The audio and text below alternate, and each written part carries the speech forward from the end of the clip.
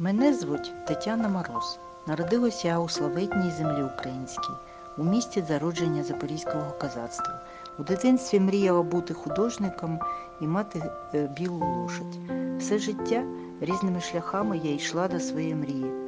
І ось я художник і займаюсь лошадьми. Полюбляю різні місця.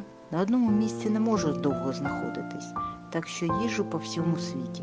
Зараз я знаходжусь в горах Румунії. У моїй улюбленій Україні йде жахлива війна, і ми евакуювали своїх улюблених коней е, в цю країну. Моя робота, написана на початку війни, відражає суть моєї країни, яка мене і надихнула.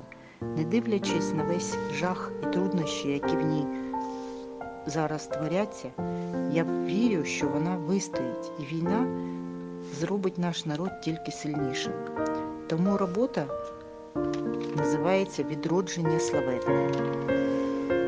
Я дуже полюбляю акрил, він надає бархатистості роботі, що надає м'якості, яскравість кольору, надає емоційну сповненість, світ, який йде на фоновому плані, наче йде від самих героїв картини.